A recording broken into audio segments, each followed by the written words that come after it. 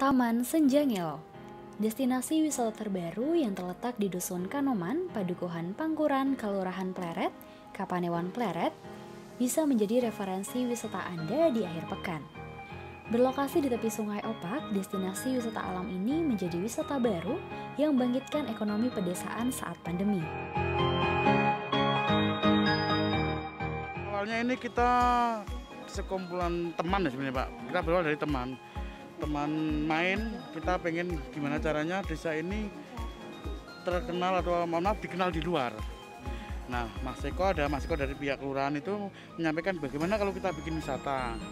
Kebetulan kita difasilitasi tanah kas dari kelurahan Barat ini. Nah dari situ kita bentuk beberapa teman. Pertama awalnya 10 orang, kita mulai diskusi bebenah sini.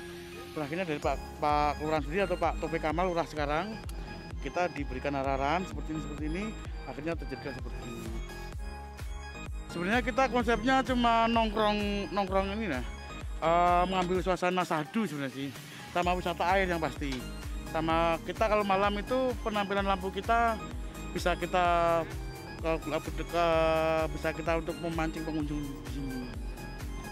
Selain wisata air, yang menjadi daya tarik Taman Senja Ngelo adalah terdapat perahu yang dapat dinaiki pengunjung.